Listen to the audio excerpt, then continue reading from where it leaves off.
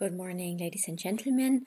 My name is Sabine Fuß. I'm an economist by background and I work at the Mercator Research Institute on Global Commons and Climate Change in Berlin, Germany. And I'm very honored to give a general background to the topic of negative emissions at this launch event for the IE NETS project that I'm actually very much looking forward to. So, what do we talk about when we talk about negative emissions? Well, negative emissions stands for um, the removal of CO2 from the atmosphere, and there are different ways to do this. One way that you see in the upper left corner depicted is to enhance our terrestrial sinks either by afforestation or reforestation, and the logic is that the additional tree growth takes up more CO2 from the atmosphere and stores it uh, within forests.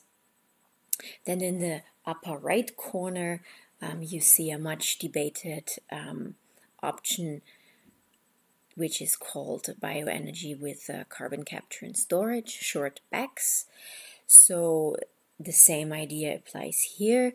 You grow more vegetation that takes up CO2, and then when you combust this biomass or um, use it otherwise to generate energy, you don't release the CO2 embedded in this biomass back into the atmosphere, but you capture it and store it underground. Then you can also um, use partly burned biomass to add it to soils that then absorb additional CO2. That's called biochar, which you see here in the middle left. Um, and uh, enhanced weathering um, is a process where you crush minerals into very, very, very fine um, components and apply these also to the soil, where through chemical reaction it absorbs additional CO2. In the lower left corner, you see ocean fertilization, and the idea is to use iron or other nutrients and apply them to the ocean, and thereby again increasing um, its capacity to absorb CO2 by algae growth in this case. And then finally, in the lower right corner, you see the example of direct air capture, where um, CO2 is um, removed uh, directly from ambient air through a chemical process and then stored again underground. So, why do we need this? What you see in the uh, fifth assessment report of the IPCC is that those stabilization pathways, and I've plotted here out um, actually all the representative concentration pathways that um, the IPCC assessed in its last assessment cycle. Um, but if you want to end up with a relatively high likelihood of reaching the 2 degree target, we're actually looking at RCP 2.6, which are the bluish and greenish lines on the lower spectrum of this um, of this um, RCP um, picture. So what strikes you immediately is that towards the end of the century, we don't actually decarbonize. It's we don't end up at zero um, emissions, but in uh, most of the cases, we actually cross the zero line and uh, withdraw more CO2 from the atmosphere than we release back into it. So, all of these that you see are the ones that I'm talking about. And actually, this is what you see when you look at the net emissions. But what we do, in fact, is in these scenarios that we already start much earlier to remove CO2 from the atmosphere. It's just not enough to show up in these uh, net emission um, pathways uh, because we're still emitting uh, more CO2 through the combustion of fossil fuels and land use change um, back into the atmosphere. So this is what you see in the following graph um, where I show the gross negative emissions um, through BECCS um, in a typical RCP 2.6 scenario. And um, this is depicted here by the red area. And you see that already in the first half of the century, you start removing CO2 from the atmosphere. So that means um, if we look at um, deployment and research and all that, we shouldn't just focus at the end of the century and think that we still have a lot of time. And that's also why um, the IENETS project is a very timely project because it will prepare already knowledge for this um, early transition that we need in order to ramp up net negative emission technologies. So if we further dive a little bit deeper into the AR5 scenarios that I've just shown you, um, this picture gives you um, the net CO2 emissions on the y-axis against uh, the BECCS deployment in 2100 as a share of total primary energy. And what you see is that the bluish and greenish, remember that I told you that these are the ones with a relatively high likelihood of ending up um, at the 2 degree warming target, are actually all in uh, below the zero line and they actually show quite big percentages. Remember, this is the percentage of total primary energy, and about 67% um, um, have a BECCS share in primary energy exceeding 20% in 2100. That is really massive. And uh, 101 of these 116 dots, so these low stabilization um, scenarios, rely on BECCS. If we then look at uh, the sectors and what that means, you see immediately that um, in the electricity sector in 2100 we go um, negative, very much so actually. Um, also, net land use is um, a little bit more than um, uh, decarbonized. Um, transport is still has some positive emissions, but transport is also very difficult to decarbonize.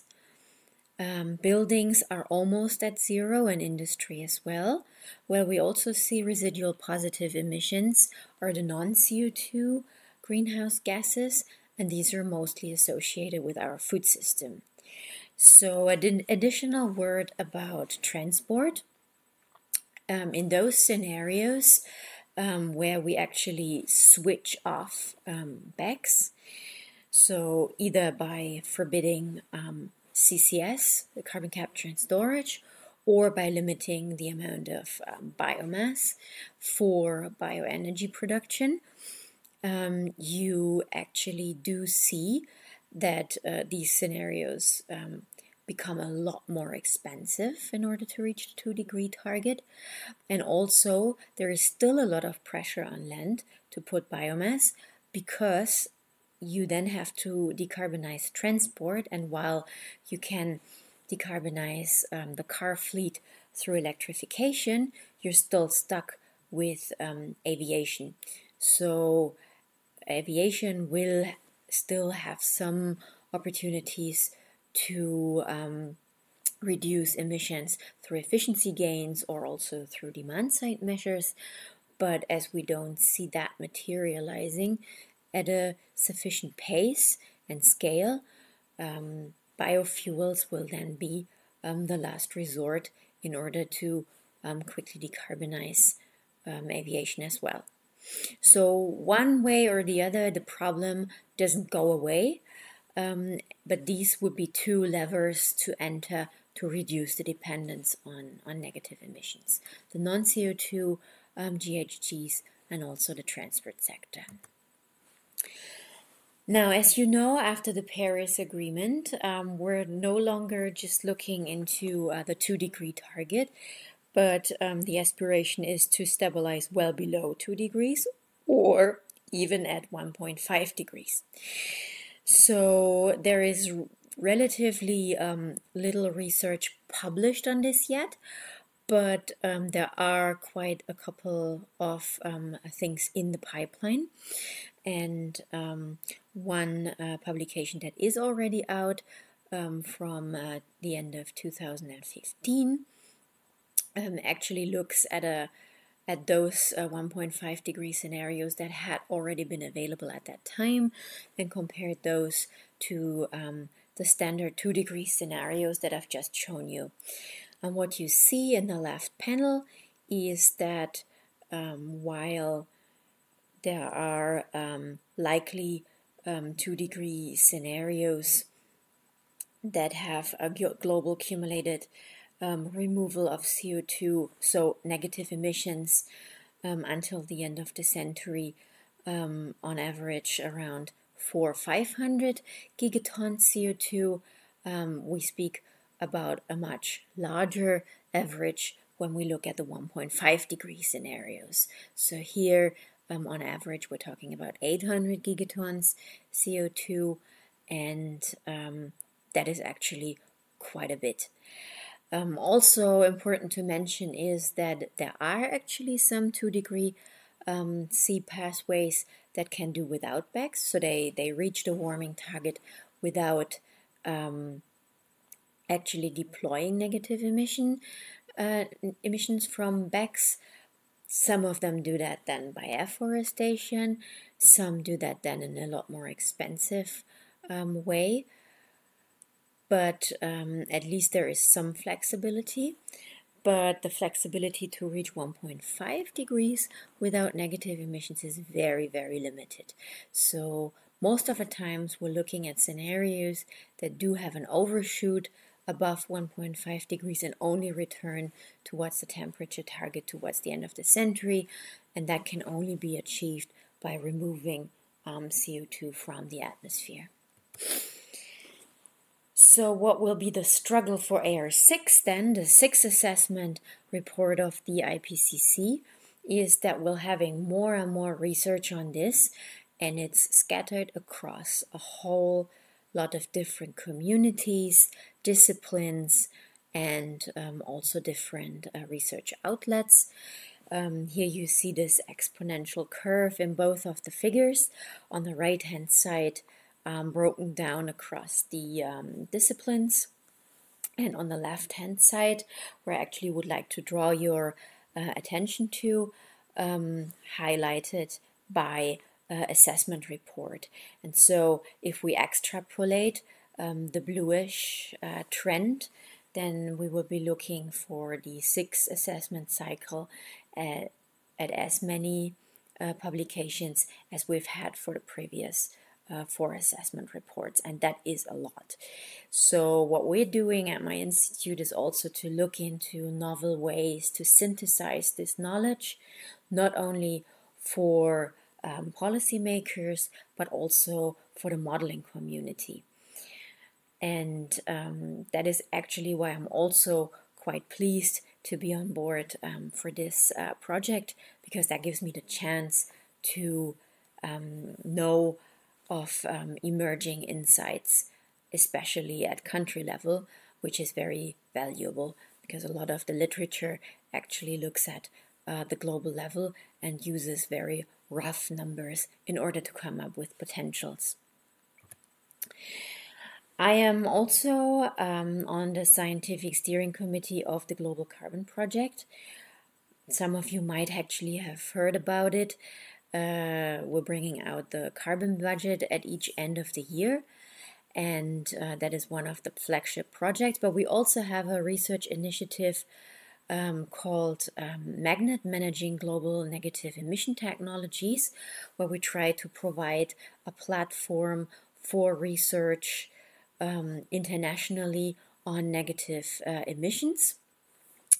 And um, what we've been trying to do is to pull together different disciplines as well, both to see what are sustainable potentials, but also to have a look at the um, mitigation pathways. So, um, the influence of other options. I was talking before about the non CO2 GHGs, for instance. Um, if we had a breakthrough there, how much would that um, reduce our dependence on negative emissions? Um, how would uh, bringing in other um, technologies that could remove CO2 um, alleviate the pressure on land, for instance, and so on. third, also uh, a component that looks at the carbon cycle and um, we've been able to attract some research from Earth system modeling there, uh, where you where people look at um, issues of impacts of removing large amounts of CO2 from the atmosphere on the carbon cycle.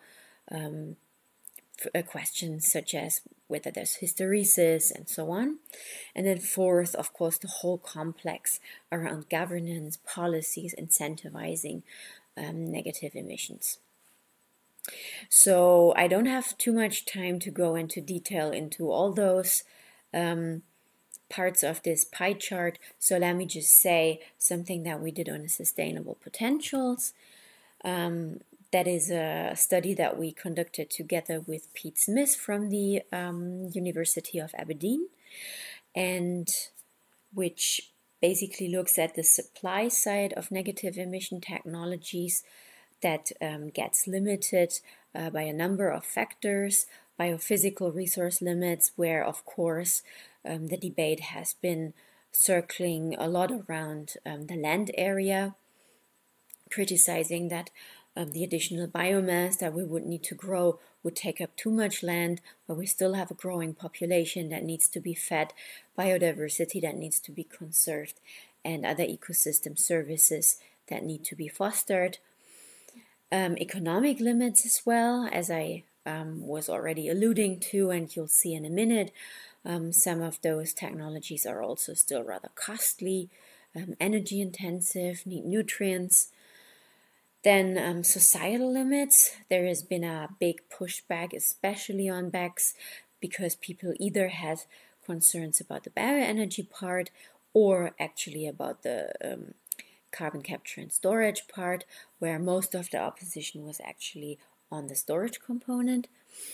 Then um, also, as I just mentioned, uh, limits uh, from the carbon cycle and the climate side um, which we are not going to discuss here. All of this serves to um, compress the supply of, of negative emission technologies um, that we would be able to exploit. On the other hand, there are also some forces that help us to expand that. So, breakthroughs in crop yields, for instance, that would allow us to grow more biomass on a um, specific um, amount of land, um, the removal of policy barriers or early testing at multiple scales. So these are things that can actually show us where we can um, increase um, the potential supply of negative emission technologies. What we did then in this study was to um, look um, at the impacts on non climate goals as well, responding a bit to the debate um, around uh, uh, BECCS and also afforestation, where a lot of concern was voiced. So we looked at the average removal of CO2 in the AR5 scenarios that were consistent with a more than 50% probability of achieving the 2 degree target. And on average, those scenarios were withdrawing 12 gigatons CO2 per year at the end of the century.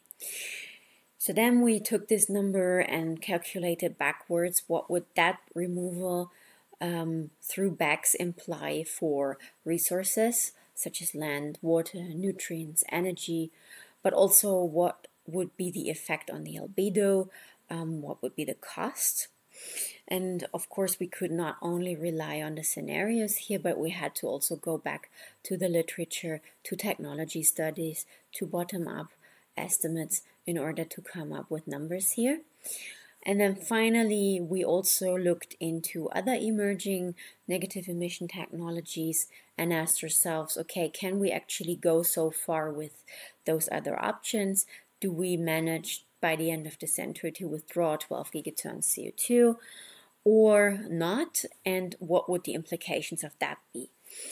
And where we could not actually um, see that the full potential of 12 gigatons of CO2 per year could be reached, we just calculated the maximum potential and the implications of that.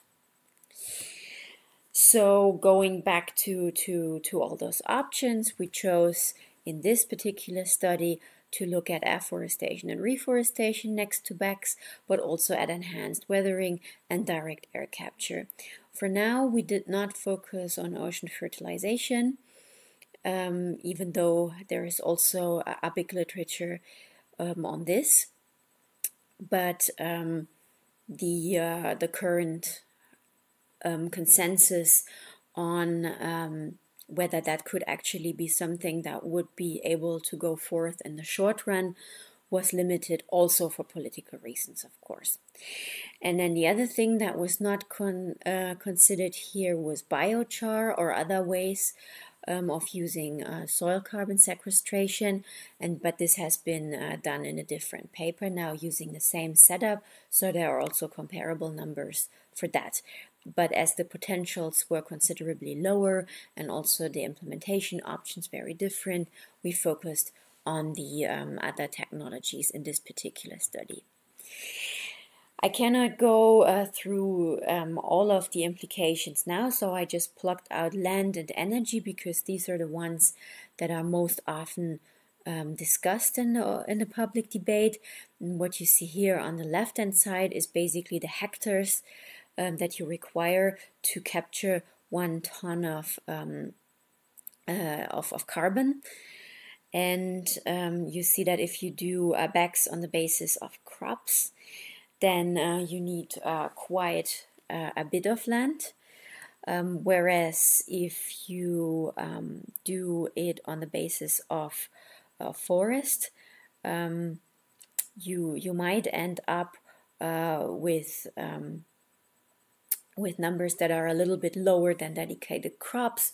But if we look at um, afforestation and especially also tropical afforestation, um, we, we might actually end up with a quite similar land footprint than BECCS. So the common argument that you always get that BECCS is, is very, very bad and that you should better plant some additional trees to do the same, to get the same effect, um, is actually not really true as we found out in this study. Um, also, afforestation would need quite a bit of land in order to, um, to reach the same removal of CO2. And then in the middle, you see other options of removing CO2, um, such as direct air capture and um, enhanced weathering that typically have a very low um, land footprint. On the right hand side, uh, you see basically the mirror image where direct air capture and enhanced weathering um, have uh, a high requirement for energy and uh, where BECCS um, is actually um, on the negative uh, side because it produces energy and um, that is actually something that also explains um, the uh, the attractiveness of of BECCS um, using the energy as a sort of entry point. However, that should not be evaluated too highly because what can actually be said is that um, without a sufficiently high CO2 price, you would not see BECCS. So in the scenarios, you don't do BECCS because it produces bioenergy, but it um, is done because it removes CO2. And if you have an escalating CO2 price, um, which is very, very high in the end of the century, then of course um, it pays off um, to use BECCS in order to extract CO2 from the atmosphere, even if you have cheaper opportunities to produce energy. So what that already shows, um, or gives a little bit of a of an idea about, is that um, we think that in the end you will be actually looking into a portfolio of negative emission technologies that minimize the respective risks and maximizes the negative emissions uh, potential. And uh, what you see here is a very complicated picture that I'll explain in a second, which is supposed to uh, summarize all the impacts that we've been looking at. and uh, it tries to be very multidimensional and uh, starts getting, I have to admit, a little bit confusing by that.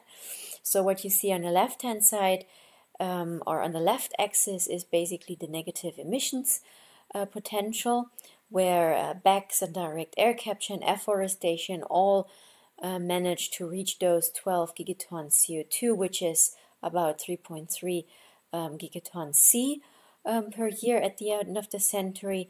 However, as you see in that bright orange color, uh, has a, a, a very um, high uh, land footprint and afforestation could have an even higher land footprint. Both have pretty high water footprints, which cannot be said of DAC. Um, direct air capture has a very low land footprint, um, relatively low requirement also for um, uh, for water, but it does need quite a bit of energy and doesn't produce any. Similarly, for enhanced weathering, uh, which might be a little bit of a surprise to some, but if you think about how fine you have to grind uh, those minerals in order to get um, this uh, chemical reaction going when you spread it over agricultural areas, um, that is actually where the where the big energy requirement is coming from. So, in conclusion, um, all negative emission technologies run into their respective limits. We think that we will most likely look into a portfolio of them, as I said before, and we see that the negative emissions technology potential is diminished um, by a lot of um, different factors. Other things that we've been looking into, but that I couldn't cover here, are public acceptance, governance, but also carbon cycle feedbacks and hysteresis. And one thing that I would really like to emphasize here is that negative emission technologies have to be seen concomitant with early standard abatement, and they're not an excuse for continuing on a business as usual path in terms of emissions. So it is, even though it has been described as such, um, it is not correct to say that negative emissions are something that you just turn on at the end of the century to withdraw a bit of CO2. Um, these technologies need a large infrastructure or a long time um, before forests are grown as well. Um, and um, they need maintenance um, and they uh, definitely um, cannot turn around from a very high emissions path concentration pathway where we've already left uh, those paths that I've shown you in the beginning of the um, presentation. So um, we've also discussed ways to reduce the dependence on negative emission technologies um, while still aiming for ambitious stabilization targets. Well, one is to start even earlier and even more massively with abatement, and the other thing is to um, look uh, into those areas that are um, difficult to abate. And here I was mentioning the example of non CO2 greenhouse gas emissions. Now, let me use the last minute to come up with a couple of research gaps and food for thought, and why I actually think that the IE NETS project can make a very valuable contribution to the debate that I've tried to give you a little bit of a background to here. Well, first of all, um, there has been uh, quite a fierce debate about negative emissions in Europe, especially and that shows that um, we have to spend more time identifying risks and making those uh, transparent, especially with respect to sustainability concerns. But I think what's a little bit missing from this debate and where the project could make a difference is to also look into opportunities as well. Um, so, in terms of BECCS, could be opportunities in the bioeconomy, in the terms of afforestation, um, that uh, is especially, for instance, for tropical regions, um, also the use of carbon revenues, um, reforestation and sustainable forest management that could then also be used to finance sustainable development goals and so on. Furthermore, we'll have to look more into other negative emission technologies than uh. I think this will also be something that will be geographically quite um, differentiated.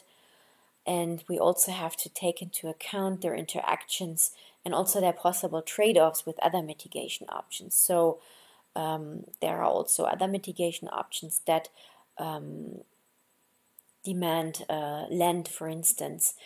So, bioenergy without CCS, for instance, or um, REDD Plus, where you um, reduce um, deforestation. So uh, finally, I think um, a lot of the analysis that I've shown you is actually uh, global and uh, is uh, based on um, ag very aggregate data, on, on averages, and so on. And I think what is really needed is more on the national and regional level. How does that match with um, the potentials that global models deploy? um, especially in those very low stabilization pathways. Is that realistic? Or do we actually find even more loopholes where we could even have even more negative emissions? Um, the scale and pace of the deployment as well. What is um, actually possible in a national context? And finally, policy and business models um, that enable this development. And that, of course, is again very context specific and has to be embedded in um, national and regional um, systems of governance and legislation as well.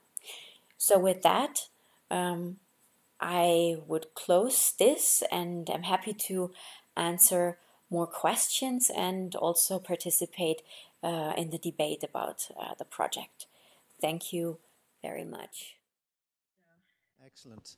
Um, so thanks very much for joining us. Uh, we do appreciate your, taking time out from a very busy meeting, uh, and the, you had to run a, run across uh, to another venue. For, so we certainly do appreciate that. Um, uh, we just listened to your recorded talk, and I asked people to delay their applause. But now, can you show your appreciation, please? sorry that I cannot be there in person. I, I would have really liked to, to meet everyone. Okay, well, thank, thank you very much. Um, so, so that brings us, we, we, have about 10 or 15 minutes now if anybody uh, has specific questions for Dr. Fuss. So, will anybody lead us off on this? And as I said, I'd, I'd appreciate if you use the microphone for us.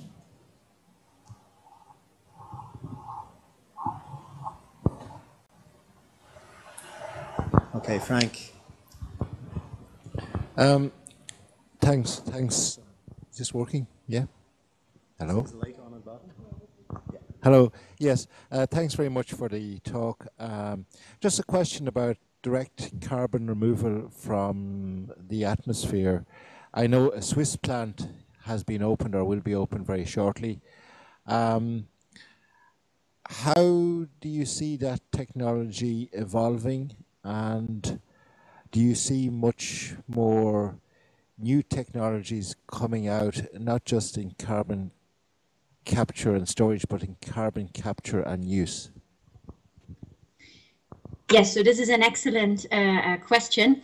The uh, the Swiss plan, I think either the launch was this week or, or next week, is particularly interesting because it does exactly what you what you were saying in your second part of the question. It uh, utilizes the, the, the CO2 because what you've actually seen in the in the talk, um, the scenarios and the CCF that with the decarbonization that you see in the, in the uh, ambitious stabilization pathways is of course triggered by an escalating uh, CO2 price.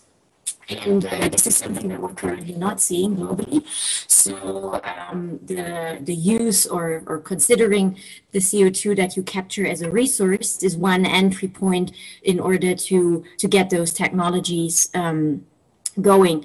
Um, of course, you have to be careful whether you really um, uh, generate negative emissions from that because uh, depending on what you use it for um, and if that doesn't have a climate relevant time horizon. So for instance if you i don't know make fertilizer from that and then you bring it out on the fields and basically release it back cycle, you of course uh, don't really um, remove CO2 from the carbon cycle. However, if you put it in a product that you permanently store as well, then it looks already a little bit different. So I think these two sides of um, CO2 utilization. On one hand, you have to um, consider whether the CO2 is really taken out of the of the carbon cycle, and in a lot of cases where it's used, it's not. Um, on the other hand, it's in the absence of carbon pricing or other incentives uh, to to commercialize this technology, um, an entry point um, that uh, is especially attractive um, for uh, for the industry. Yes. Anybody else want to come in? Just wait for the microphone there. Thank you. Uh, thank you. Um, not sure is the mic working. J- just um, you mentioned Yes. incentives and market price for carbon, and just maybe there's just a gap in my knowledge, and everyone else knows this. But uh, are there provisions for um, effectively trading negative units or creating a unit that you can sell if you can prove, you know, uh, correctly that you've actually sequestered or, or used in a product uh, a ton of CO two?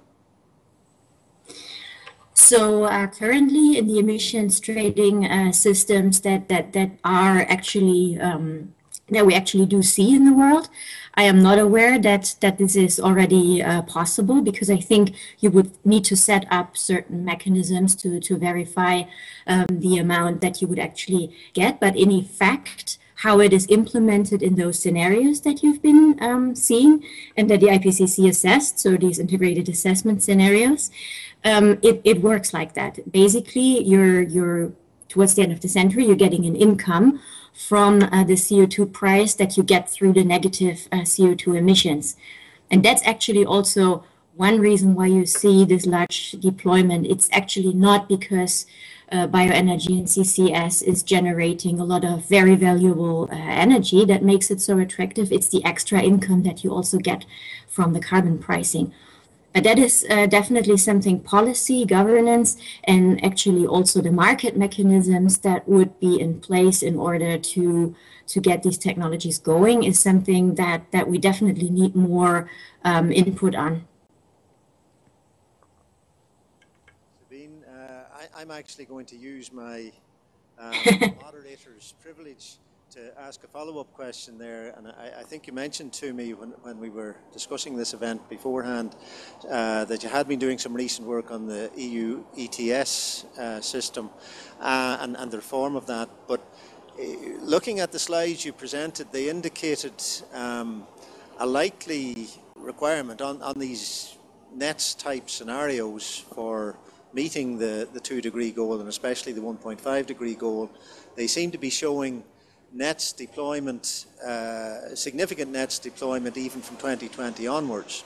So in the case of Europe, presumably, if, if the incentives were to come via selling uh, the carbon credits, um, the EU ETS would have to accommodate that, but more importantly, the carbon price in the EU ETS would have to be sufficient to incentivize um, BECCS type or other negative emissions type uh, activity. So I'm just wondering if you, if you could comment on the interaction, the early interaction, not the second half of the century, but the next five or ten years.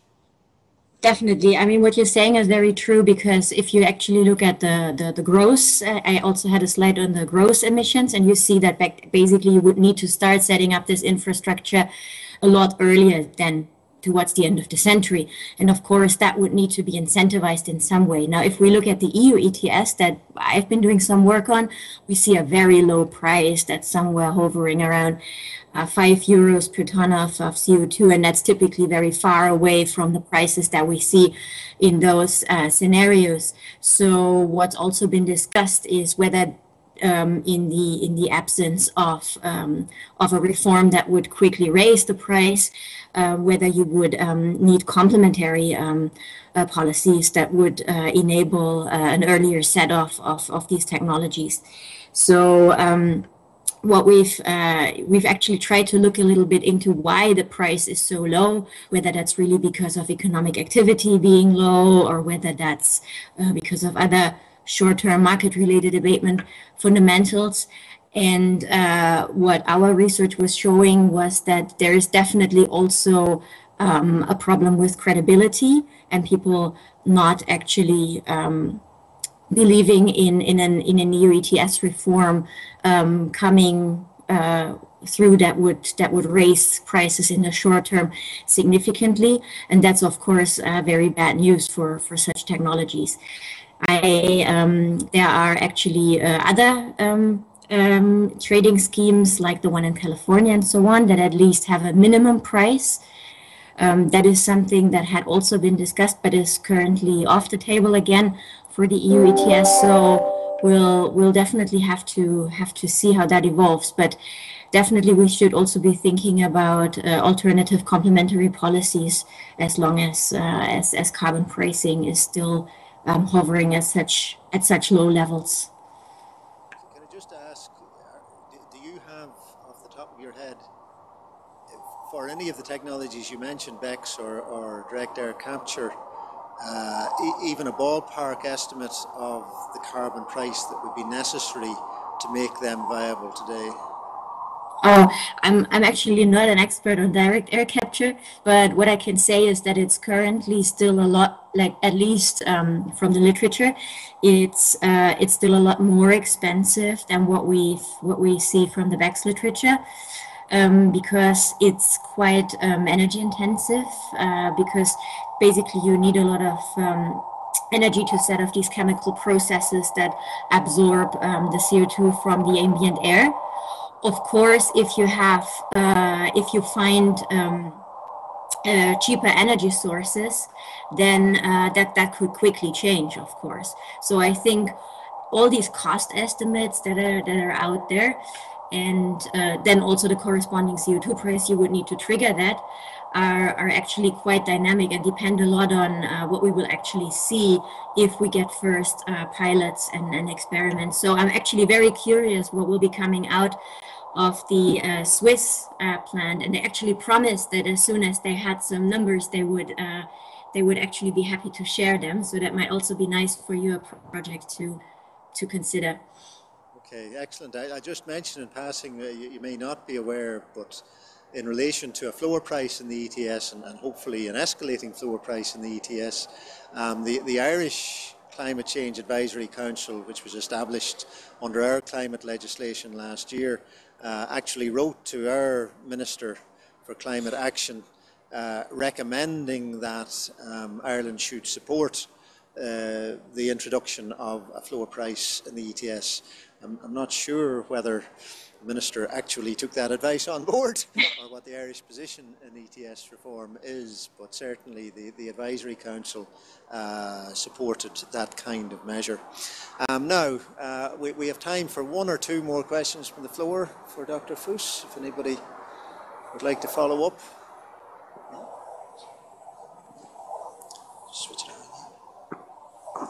My name is Consulting Engineer. My problem with uh, this climate change is about government policies, terms of industries, because of the cost, the overall cost, because the targets are not going to be met if companies are not seeing the cost beneficial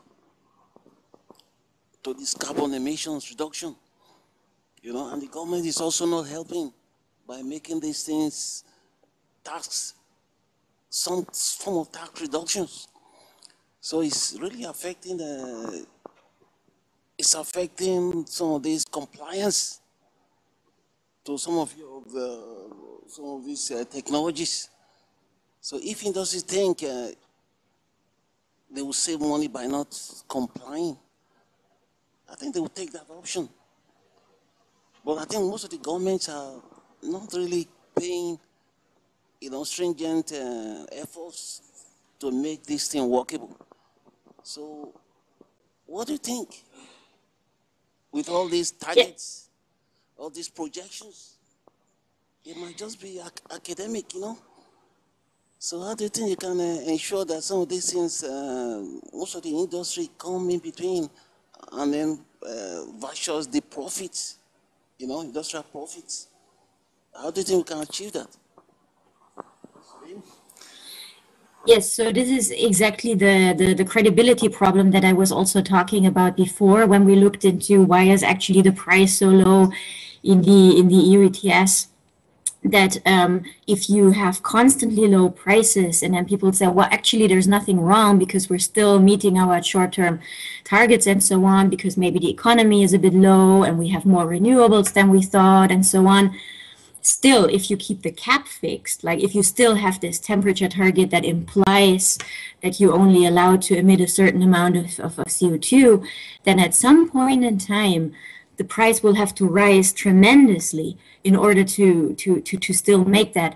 And I think referring to that people don't that is actually what you're also referring is it, like if it comes to that and prices will explode like that there will be a huge outcry and people will say okay the industry cannot really accept this and, and, and there will be leakage and, and, and everything will be terrible and people will resist uh, then this this this uh, large uh, increase in, in, in the price.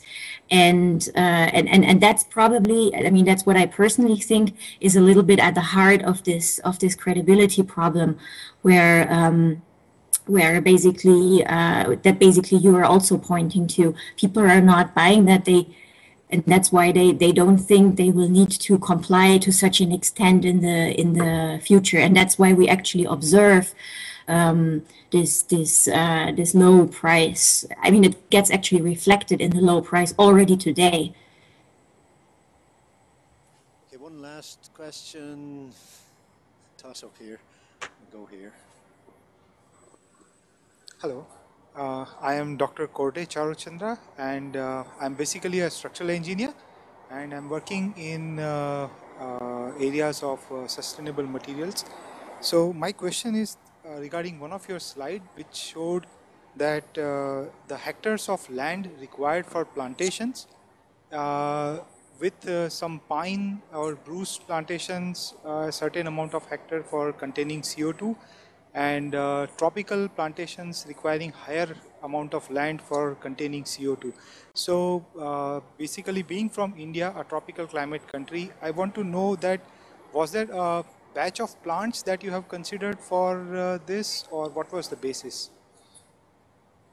I think it's actually completely different because, and that actually makes me think that this is not the nicest uh, panel because I think this is also lumping um, afforestation into into it.